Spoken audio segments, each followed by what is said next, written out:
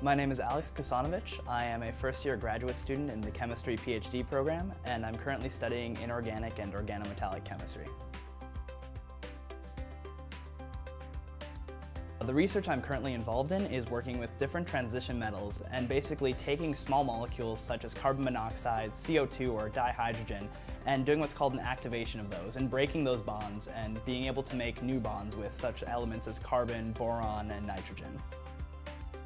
A lot of the real world applications have a good connection to the petroleum industry um, in that a lot of the way that we get hydrocarbons, such as what you put into your car and basically fuels the energy in your house, is functionalized based on transition metal catalysis. And we're looking at different hydrogen storage materials and trying to create a new energy future.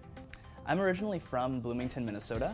I heard originally about Texas A&M from uh, Dr. Oleg Ozerov here in the chemistry department, who came and recruited me uh, from my undergraduate institution, which was Carleton College in Minnesota. Alex is a student with a great deal of potential. Uh, what distinguishes him from a lot of others is his motivation and the passion for the field of chemistry.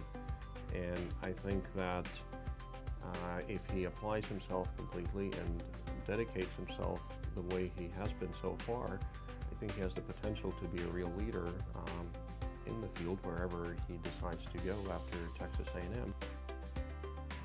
The thing about chemistry that I find that I really enjoy the most is that I'm able to make things that no one's ever seen before. And in a way, you're kind of working on the edge of the instruction manual of the universe as it is. And so being able to build these molecules and being able to answer the questions of why and ask questions that seemingly have simplistic answers and then delve further into their complexities is something that really interests me about the chemical field. I've had a lot of experience teaching and mentoring other undergraduates as well as now here at A&M I've been given the opportunity to teach undergraduates uh, in a laboratory setting which has been very enlightening. I feel that research is especially important because it gives you an idea of where your passions lie and what you're interested in studying.